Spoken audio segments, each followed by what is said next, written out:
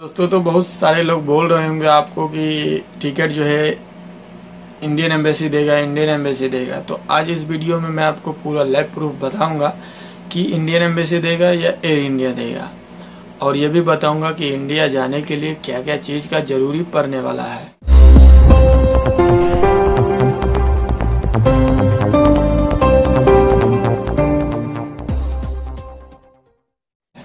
तो फ़र्स्ट मैं आपको बता देता हूँ, अगर आप इंडिया जाएँगे तो पहले आपको बता देता हूँ, आपका पासपोर्ट वैलिड होना चाहिए, आपका एग्जिट, जैसे एग्जिट लगाए हुए हैं, वो वीज़ा वैलिड होना चाहिए।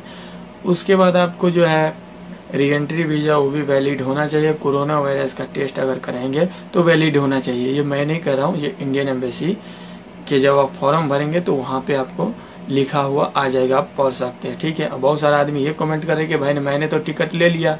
फॉर्म भरना ज़रूरी है क्या? तो ये सब आपको डिटेल के साथ बताऊँगा ताकि आपको जाने में पैसा ना बुरे, आपको वहाँ पे एयरपोर्ट पे घूम के ना आना पड़े। ठीक है ना? तो वीडियो को शुरू से देखिए ताकि आपको सही सही जानकारी यहाँ पे मिल जाए।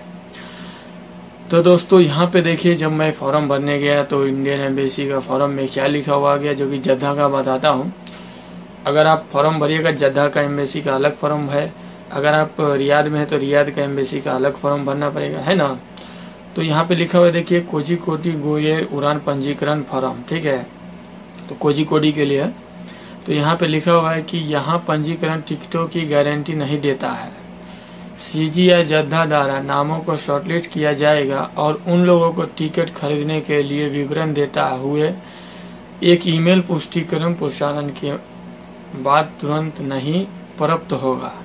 यदि आपके पास एक वैध पासपोर्ट और वैध वीज़ा निकास निकास पूर्ण प्रवेश है तो पंजीकरण करें और आप सुनिश्चित है कि आप चयनित फ़्लाइट में यात्रा करना चाहते हैं, यदि शॉर्टलिस्ट किया जाएगा। मतलब कि अगर ये गारंटी नहीं लेता है कि इसका टिकट एम्बेसी की तरफ़ से मिल सकता है, ठीक है? ये तो समझ गए कि ये तो एयर इंडिया ही देगा। जब आप ये फॉर्म भर देंगे तो नीचे में आपको लिखा हुआ आ जाएगा कि आपको, आपका सब चीज़ वैलिड है कि नहीं। जो मैं बताया आपको पहले, वो यहाँ पे लिखा हुआ देखिए, आपका पासपोर्ट वैलिड होना चाहिए, उसके बाद valid exit visa re entry visa होना चाहिए, उसके बाद आपको कोरोना का टेस्ट वैलिड होना चाहिए। क्योंकि बहुत सारा आदमी लोग कन्फ्यूज़ है, क्योंकि पहले टिकट ले लेता है, बहुत सारा टिकटॉक पे भी वीडियो वायरल हो रहा है।